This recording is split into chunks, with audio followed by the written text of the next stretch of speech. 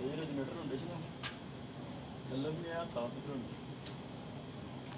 ਉੱਤੋਂ ਉੱਤੋਂ ਸਾਫ਼ ਕਰ ਲੈ ਯਾਰ ਉੱਤੋਂ ਤੋਂ ਝਾੜ ਲੈ।